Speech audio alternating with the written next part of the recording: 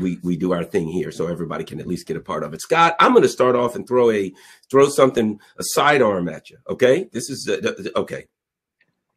You know, we everybody's familiar with the Putin speech, with the issue of the START treaty, with where the you know most people can figure out where that leads, right? With what's going on with the neocons and their attempt to for for world hegemony, shall we say? Okay, this is something I'm going to throw at you. The the Chinese and the Russians are in Africa. They're doing a military exercise with the South African military. We could be doomed but possibly there's a way out.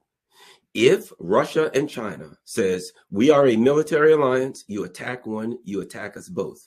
It is possible then that the military and the neocons will say, we know we can't beat them both, so we can't go to war with them. That that's our only hope. Uh, so I'm just throwing that out there as a, as a, as a thought project to hear from you, Scott.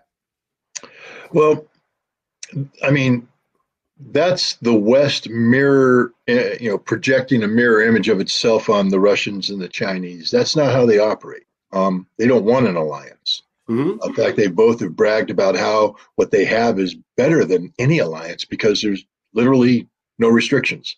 See, an alliance has to be defined by a document, spells out commitments, and obligations, etc. And even a you know wonderful alliance like NATO you find out in the end it's not as wonderful as everybody thinks it is because gosh article 5 isn't quite the uh, dogma that um, that that uh, joe biden thinks it is uh, at least when he articulated it in warsaw. Um, you know uh, what the chinese and the russians have is uh, adaptable. Um, it can be adjusted based upon realities. Uh, there, there's no pressure. Um, believe me once you sign a treaty uh, almost immediately there's regret, you know, and uh, there's no regret with the Russians and the Chinese right now because there's no pressure, there's no artificial expectations.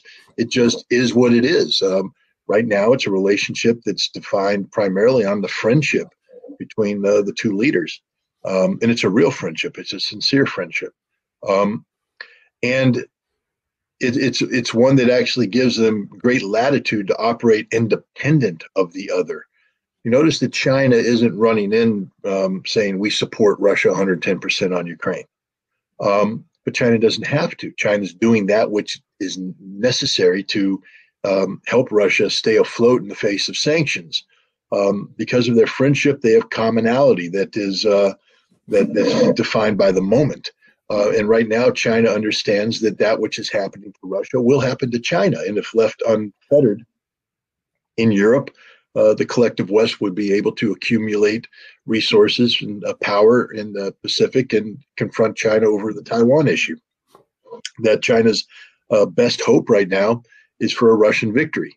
That it's in China's interest to have a Russian victory, but China has to be careful, and Russia recognizes the need for China to be careful because China doesn't want to provoke, unduly provoke the United States into a premature conflict or into a worsening of economic relations at a time when um, you know China needs uh, to continue the expansion of its economy. And understand this: Russia needs China's economy to continue to expand.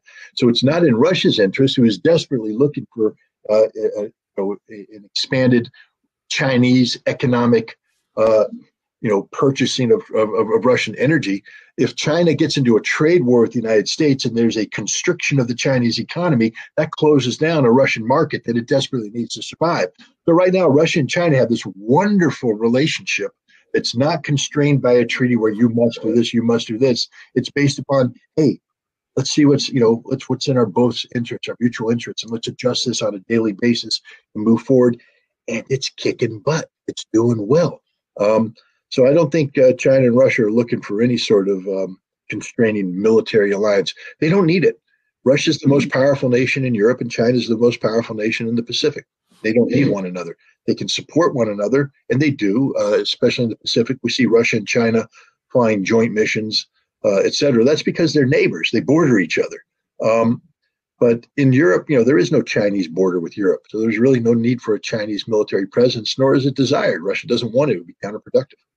Wow, that's great. I'm glad we had that conversation because this is this is uh, important. It gives China the ability to be to support Russia and have plausible deniability, um, to continue to maintain their policies of, you know, we don't want any aggressive military actions and we want everything to be resolved by diplomacy. So they can maintain their uh, current foreign policy. They can't have anybody, you know, people can point the finger, but they can skirt around the edges. Okay, that being said, what about this um, China, South Africa, Russia military thing. Is that more for Africa? What do you think about that? Uh, you know, people don't know they're doing um, some naval exercises right now, and the U.S. is angry, and they spoke to South Africa, and South Africa said, "Go pound rocks. We'll do what we want," which is something new, might I add. African countries would not do that before this conflict. They've got a renewed bravado. Well, I think we're looking at a reality here where China is the dominant economic foreign economic player on the African continent. Um, you know, through their Belt and Roads Initiative, et cetera, they're plugged in in a way that no other nation is. Um, Russia is emerging as the most competent and reliable security partner. Now, the United States and France have been there for years, but point to me one American success. Point to me a French success. You can't.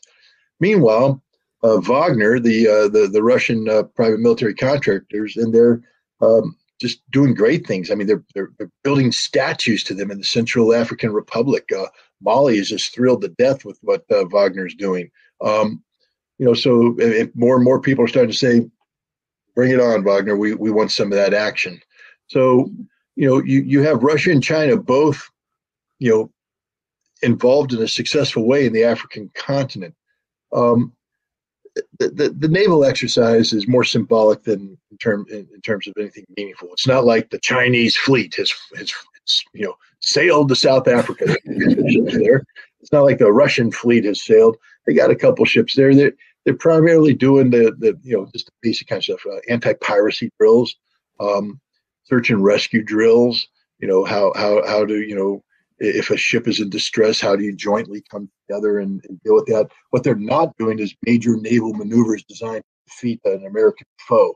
Um, so I think the United States is more concerned about the precedent set for military to military relations than they are for any real military threat to manifest itself from these naval exercises. But it points to the fact that the uh, South African Defense Force um, is looking for new partners.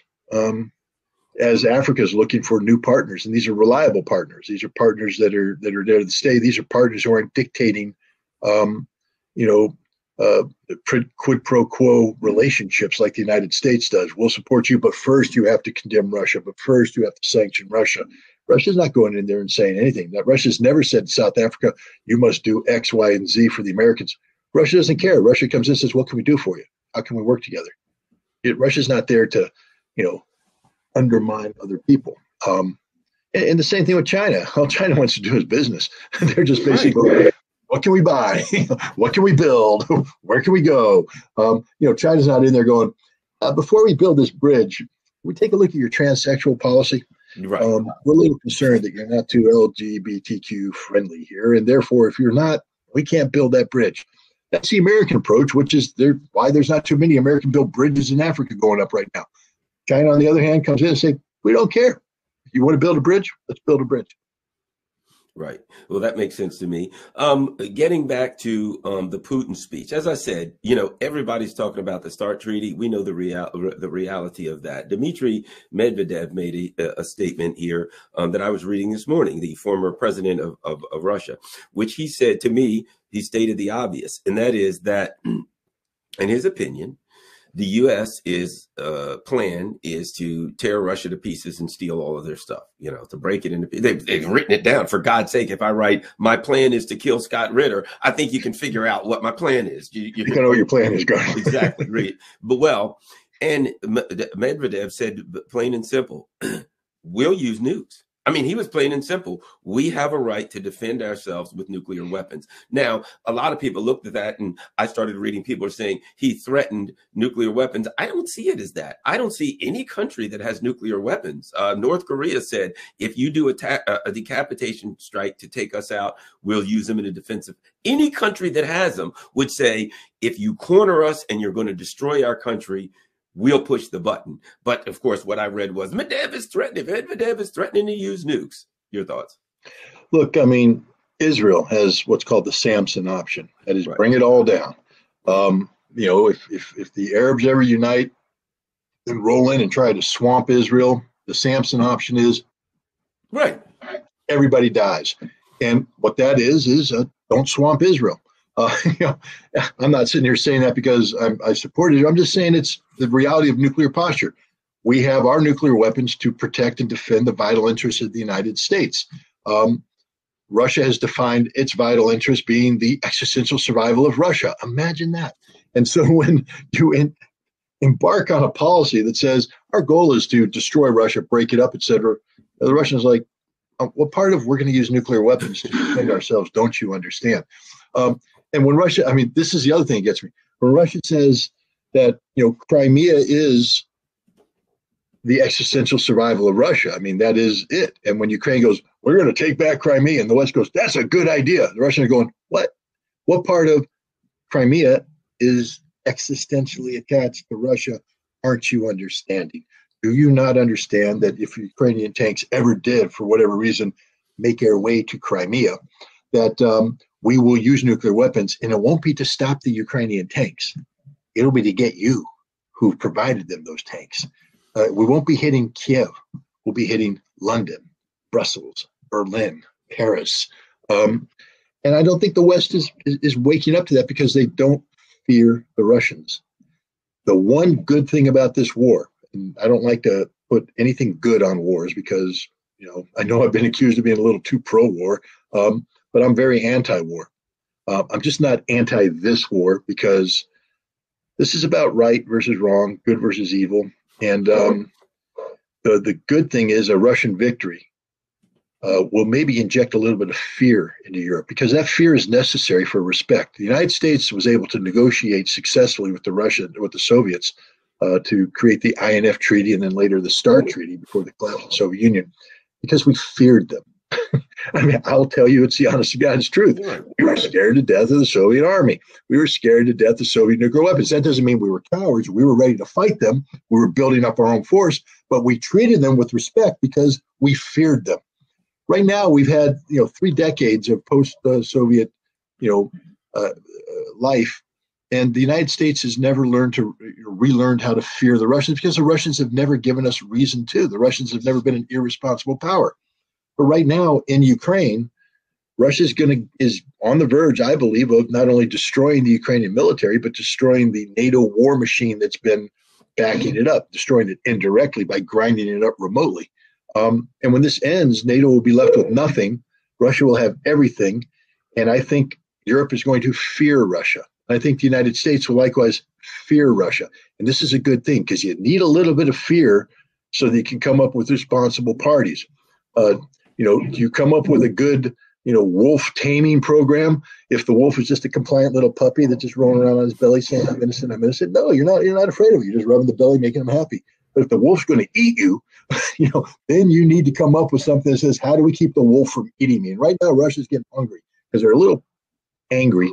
Uh, and Medvedev, he's the he's the bad cop to Putin's good cop. I mean, uh, the Putin speech yesterday was brilliant, and it's um, in, in how reserved he was. Um, he was a little animated on some subjects, but by and large, you know, Putin, it was a responsible speech. Medvedev's the he's the wild dog in the back. and every once in a while, you got to open the door and show people, we got him. We're nuclear. We're nuclear. Russia, Putin's like, not yet. Don't worry about it. We, we, can work this one out. No, you guys can come back to the table if you like. Don't worry, that's the dog behind the door, but I got the door shut. But you know, the fact that that dog's back there should make everybody sit up and pay attention because, um, uh, you know, we, we need to learn to fear Russia. Um, and I don't say that with glee. I, I would hope I I would have hoped that we never need to get that situation, but we're acting with so much ignorance, uh, ignorant, well, ignorance and arrogance uh, that we we don't treat the Russians with the respect they deserve. And so maybe we need to we we need to fear them a little bit, and then we'll sit down at the table and we'll come up with responsible programs because we'll respect them and will insist on genuine reciprocity instead of what we do now, which is basically to dictate uh, an outcome that's to the unilateral advantage of the United States. That's not good arms control. Good arms control is mutually beneficial. That's what the INF Treaty was good arms control. You know, just a story. You know, from my law enforcement career, I remember there was a this really big prison um, in our county, and um, the prisoners did a, a, sit down strike and they wouldn't move. They were out on the yard. And so they called the, the state police and they came in and you know, the big police dogs. So they brought all of these guys and they lined up in front of the prisoners with these big police dogs. And you know, they're snarling and they're slobbering and they're pawing at the air, just waiting to tear somebody to shreds. And they went said to the prisoners, all right, everybody get back in an orderly manner and go back in the prison or we're going to let the dogs loose and the prisoners got up in an orderly manner and went back in the in the in the in the in the prison because you can bargain with the prison guys, but you can't bargain with the dogs, right? Can't bargain with the dogs. Exactly. And I mean those dogs were I mean, you know how big those police dogs are. They were a pretty horrifying sight. And afterwards, I talked to the guy and I said, Were you really going to let the dogs loose? He goes, Hell no, that would be illegal. We can't let dogs loose and tear people apart. He said, But the prisoners didn't know that. They didn't know and that. yeah, you get my point.